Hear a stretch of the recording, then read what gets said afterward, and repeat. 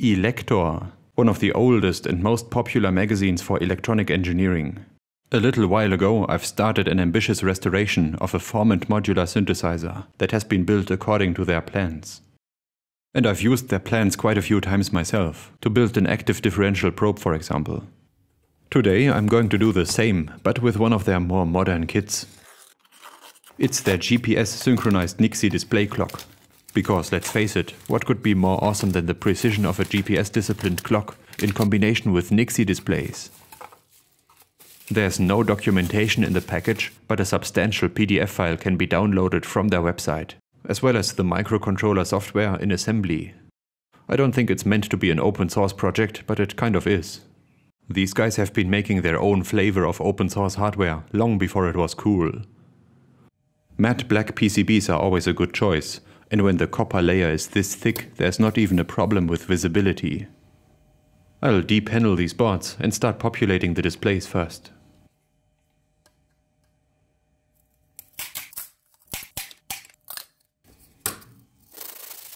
The Nixie displays that were included in the kit are new old stock but tested IN12s. They are affordable and available, but there are some nicer looking displays out there. Usually those are electrically compatible, so an upgrade would only need an adapter.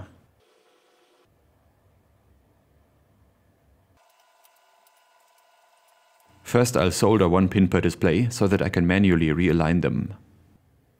Perfection is not an option, because the displays have some variance built in, but with a bit of patience one can get reasonably close. To minimize thermal stresses I like to leave the pins long, but sockets would be even better. This is one of those rare cases where the video editing is more difficult than the actual doing was. Like what am I supposed to do with all this boring soldering that's about to happen? If you could stop judging my mouth for a second and instead focus your attention on the pin headers, you could see perfect double-sided solder joints forming all by themselves thanks to capillary action. But I'm going to touch them up anyway, because these pin headers will see some mechanical load. Next I'm going to assemble the mainboard, starting with the only SMD component, these bottom pads on the GPS module are optional, but I'm going to do them anyway, because I want to try soldering with this hot plate. I think this would be an ideal soldering tool for reflowing boards with a high thermal mass. And I've heard some rumors about such a board coming up soon.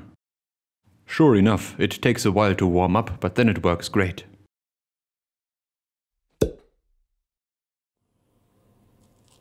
It can also assist a normal iron that would otherwise be too weak to work on a large ground plane.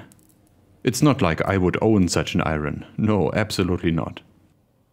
Next, a ton of passive components, not including the supplied 5% carbon resistors. There's really only one place where carbon resistors are acceptable. Instead I'm going to use my own 1% metal film resistors and the good old Biegelehre it pre-bends the resistor leads so that they sit on the board perfectly.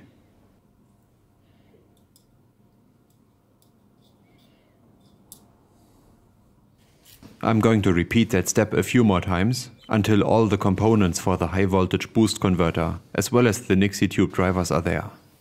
The 180 volt boost converter is adjustable within limits so that other types of Nixie tubes can be accommodated easily. The actual tube drivers are just BCD decoders and low side switches. Sockets for all the ICs are provided, which is nice.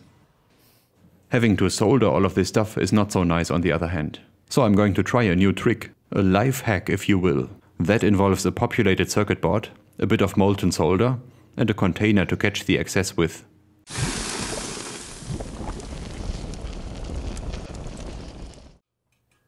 Well, that worked beautifully, didn't it? Almost too good to be true. That leaves us with only three steps before we can start receiving GPS signals. That's trimming the leads, cleaning the boards, and inserting the chips. Curiously, this tool is not a Biegelehre. Nobody really knows what it's called. It does the same thing, but for IC pins. And it is of the utmost importance that it is pressed multiple times for correct operation. The Nixie drivers are NTE 74141s. And the microcontroller is a huge PIC. It's probably just here for the number of pins.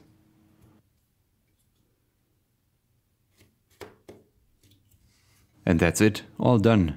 Time for a nervous first power up. No need to be nervous, that's looking good. It successfully received the time after approximately 5 minutes.